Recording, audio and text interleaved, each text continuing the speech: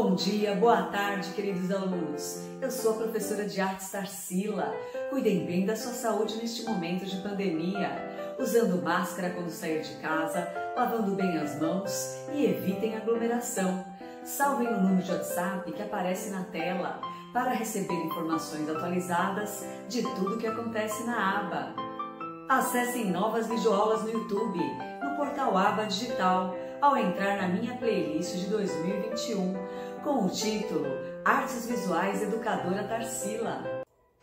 Para o segundo semestre de 2021, seguir as videoaulas a partir do número 31 para crianças do núcleo de convivência de 9 a 12 anos e a partir do número 32 para crianças do núcleo infantil. O conteúdo será inspirado nas obras do pintor brasileiro Emiliano Augusto Cavalcante de Albuquerque Melo, também conhecido como Di Cavalcante, nascido no Rio de Janeiro em 1897. Através da sua arte, faremos novas releituras orientadas pelo tema Identidade Brasileira, que você pode ver a seguir.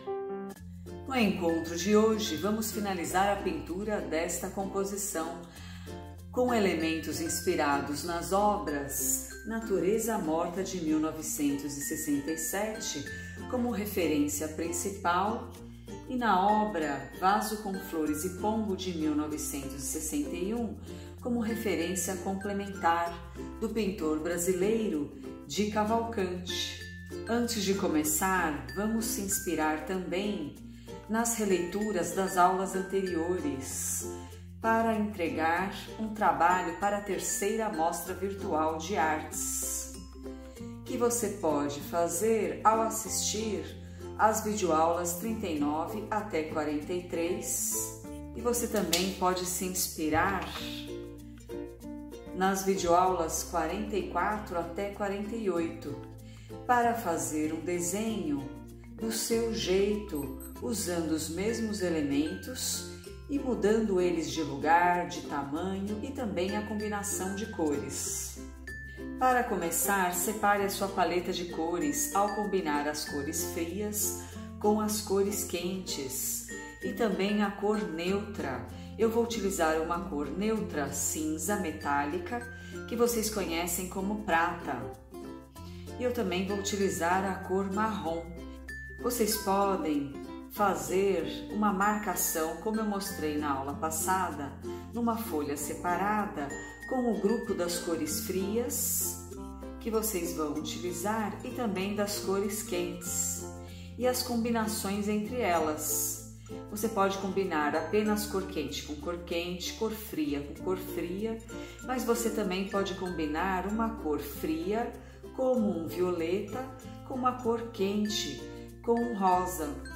E também pode combinar as cores frias e quentes com as cores neutras, como a cor preta, cinza e branca. E antes de começar, vocês podem fazer marcações em cada parte do desenho para dividir um lado com um tom mais escuro, igual o vaso, e o outro com um tom mais claro. Eu já dividi aqui os telhados, as paredes, portas, o corpo do pombo, também o céu, com tons escuros e tons claros. E fiz uma linha aqui na escada para dividir uma parte da escada com um tom mais escuro e a outra com um tom mais claro.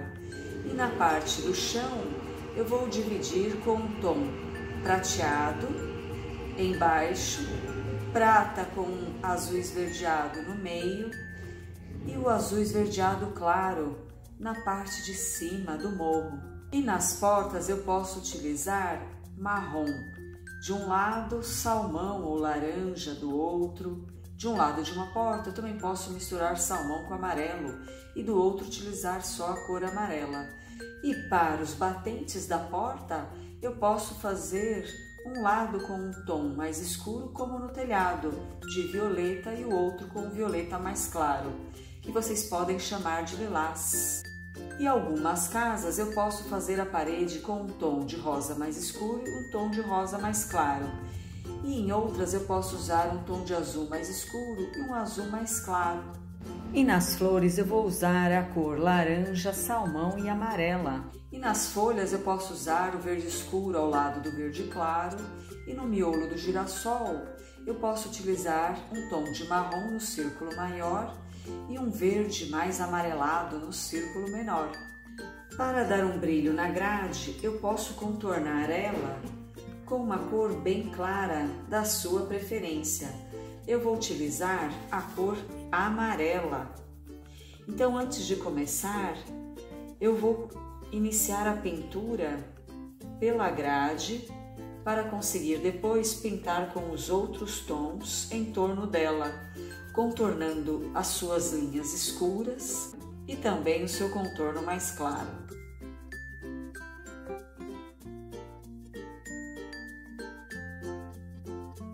Nas flores eu vou utilizar estes tons de amarelo, o mais escuro e o mais claro, a cor salmão e a cor laranja. Se você não tem dois tons de amarelo, é só misturar a cor salmão com a cor amarela, ao utilizar a cor salmão por baixo e a cor amarela por cima. E a primeira cor que você vai pintar para misturar, não aperte muito o lápis para conseguir misturar a segunda cor. Para criar um amarelo mais escuro. Nas pétalas que estão mais atrás, eu vou utilizar apenas a cor laranja e a cor salmão, alternando em uma pétala a cor laranja e na próxima a cor salmão. E nas pétalas que estão mais à frente, eu vou alternar entre dois tons de amarelo, um mais claro e outro mais escuro e assim eu vou fechando toda a flor. E para o miolo, eu vou criar este tom de marrom no círculo maior e o tom de verde no círculo menor. Lembre-se de contornar todas as partes do seu desenho para depois preencher dentro num único sentido. Eu estou pintando no sentido vertical. E no miolo do círculo maior, eu vou pintar no sentido arredondado. E se você quiser, você pode passar a cor salmão para dar um brilho em cima da cor marrom espalhar mais o pigmento para não deixar buracos. Nas folhas eu vou pintar com a cor verde escura numa metade e a cor com um tom mais claro de verde na outra metade. Neste caule eu vou misturar este tom de marrom com este tom de verde e vou pintar as folhinhas embaixo da flor com um tom de verde mais escuro. Para o pombo eu vou utilizar três tons de azul. Se você não tem o tom mais claro, é só pintar com este tom sem apertar muito o lápis para fazer um azul mais claro e você também pode usar ele no seu tom mais forte, apertando mais o lápis. E para o tom mais escuro que eu vou utilizar no pombo, é só utilizar um azul naturalmente mais escuro, assim você consegue os três tons. E se você quiser, você também pode conseguir os três tons colocando o azul escuro num tom mais forte, este azul mais claro num tom mais forte também como tom mais claro. Para fazer um tom médio, eu posso misturar estas duas cores, sem apertar muito a cor azul escura, para conseguir misturar com a cor azul mais clara. E você pode escolher fazer os seus três tons desta forma ou desta. Antes de começar, pegue um tom de azul mais claro e crie algumas linhas, algumas faixas inclinadas para separar e contornar o tom mais claro que você vai pintar uma parte do corpo do pombo e também o tom mais escuro. E no meio eu vou misturar os dois tons, o tom mais escuro com o tom mais claro para fazer um tom médio. Se precisar, repasse o tom mais escuro sem colocar força na mão, só para fazer um retoque caso tenha ficado algum buraco. Eu vou continuar com a cor azul para fazer um sombreado na parte de baixo do corpo do pombo, ao criar uma linha ondulada. Depois eu vou criar uma faixa com este tom de azul, um pouco mais claro que o azul anterior. Na sequência, eu vou utilizar o tom de azul ainda mais claro para passar no restante do corpo do pombo. Para os pombos que estão deste lado, eu vou colocar a sombra do lado esquerdo e um pouco também na parte de baixo do corpo.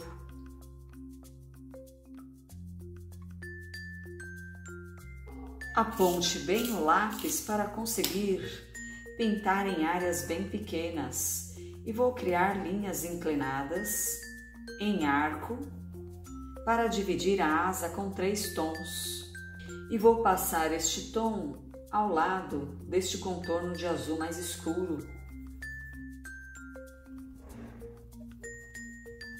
E na asa eu vou fazer a mesma coisa que eu fiz nesta com este tom na parte de cima, este tom escuro na parte de baixo e no meio eu vou misturar os dois. E no restante do corpo do pombo eu vou usar este tom mais claro. Eu vou dividir o telhado com dois tons, um tom de violeta mais escuro com uma linha na vertical de um lado e um tom de violeta mais claro Antes de pintar, você pode contornar a área para não se confundir. E depois é só preencher num único sentido. E do outro lado, eu vou preencher com este tom mais claro. Se preferir, você pode escolher outras combinações de cores para o telhado, como a cor vermelha e a cor laranja, ou a cor vermelha e a cor salmão, ou qualquer outra cor conforme a sua imaginação. E você pode repassar o tom mais claro sobre o tom mais escuro. Na parede, eu vou passar numa parte um tom mais escuro, como uma região de sombra, na continuidade da linha na vertical da sombra do telhado. E na outra parte da parede, eu vou utilizar a cor azul mais clara lembrando de fazer um contorno na parede e também ao redor da janela, para não borrar as áreas com outras cores. E depois eu vou preencher no sentido em pé. Para a moldura da porta e janela, posso usar a cor azul esverdeada num tom mais escuro e num tom mais claro. Lembrando que o tom mais escuro eu posso usar a partir desta linha que está marcando a região de sombra na vertical do telhado e da parede e posso continuá-la dentro da moldura da porta. E como a moldura da janela está no lado mais claro da parede da casa, é só passar este tom de azul esverdeado. Na parte de cima da porta e da janela, na parte do vitral, eu posso misturar numa metade salmão com amarelo para fazer um tom mais escuro, e na outra metade usar um tom mais claro de amarelo, e na janela eu também posso usar o tom mais claro de amarelo na parte de cima. E nesta parte eu posso misturar a cor salmão com a cor amarela. E na porta eu posso pintar uma metade com a cor marrom num tom mais claro e a outra num tom salmão. E também posso passar a cor salmão por cima da cor marrom. E para outras casas eu posso fazer essa combinação de cores, com um tom mais escuro de rosa e um tom mais claro. Mas antes eu vou pintar o telhado com um tom mais escuro de violeta de um lado e um tom mais claro do outro. Lembre-se de contornar antes e depois preencher num único sentido, para não deixar a sua pintura rabiscada. E agora é só seguir a linha da divisão entre o tom mais escuro e o tom mais claro do telhado, na região da parede, do batente da porta e da porta eu vou dividir aqui uma parte da parede com um tom mais escuro para marcar a região de sombra vou pintar aqui no sentido vertical, que é o sentido em pé, e na outra metade eu vou contornar com este tom mais claro ao redor da parede, da porta, da janela, do pássaro. E depois vou preencher dentro. E no batente da porta vou usar dois tons de violeta igual ao telhado. Na metade da porta vou utilizar a cor salmão e misturar ela com a cor amarela. E na outra metade vou utilizar a cor amarela num tom mais claro. Na janela também. E na moldura eu vou utilizar um tom de violeta mais claro. E assim eu posso alternar essas combinações de cores nas outras casas. Nas escadas eu posso dividir com uma linha inclinada, pintando uma parte com um tom mais escuro e a outra parte com um tom mais claro, de azul esverdeado. Para pintar a região do céu, eu vou usar dois tons de azul, um mais escuro e um mais claro, e um tom de violeta claro, Antes de pintar o céu, se você ainda não desenhou aquelas formas geométricas irregulares, você pode fazer com o lápis grafite cinza ou com o lápis colorido, na cor da sua preferência. Como eu já contornei nesta região com este tom de azul mais claro, e vou continuar a contornar as outras formas com pontas triangulares.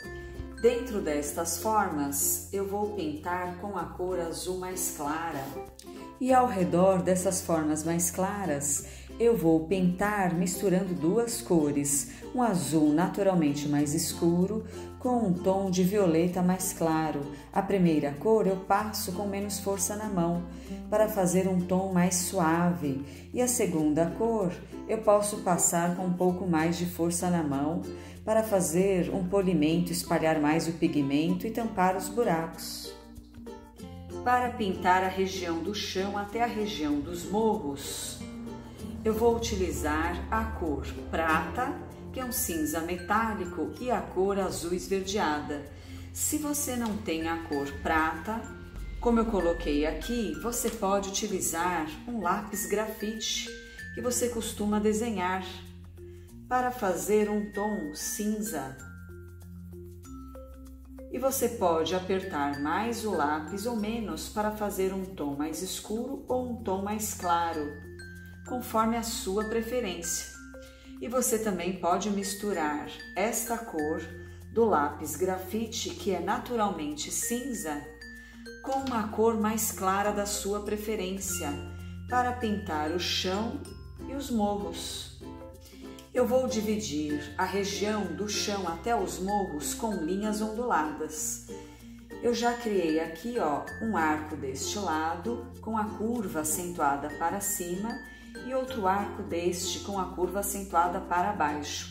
E deste arco até a região na parte de baixo da folha eu vou pintar com a cor prateada num tom mais forte. É só contornar os objetos ao redor, inclusive os contornos mais claros da grade, além do pombo, das frutas, flores e casas, para não borrar estas formas. E depois é só preencher num único sentido. Dentro das grades eu posso preencher no sentido vertical em pé. E para cima das grades eu posso preencher no sentido arredondado ou inclinado. E acima dessa faixa prateada eu vou misturar a cor prata com a cor azul esverdeada.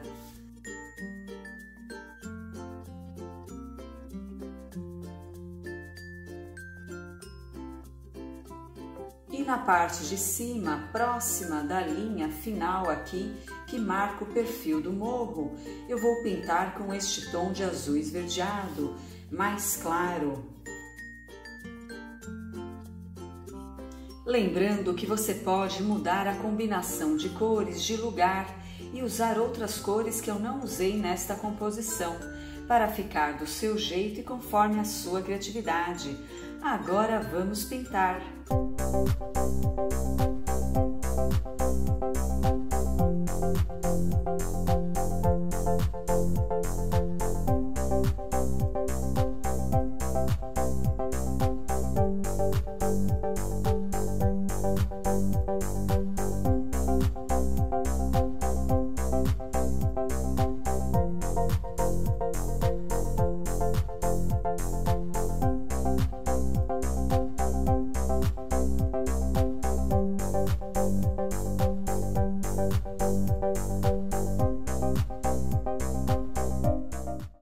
Depois de terminar a sua pintura, é só enviar uma foto para o número de WhatsApp que aparece no vídeo para participar da terceira mostra virtual de artes no YouTube. Qualquer dúvida, escreva nos comentários. Se gostou desse vídeo, deixe o seu like. Boa criatividade. Até a próxima aula!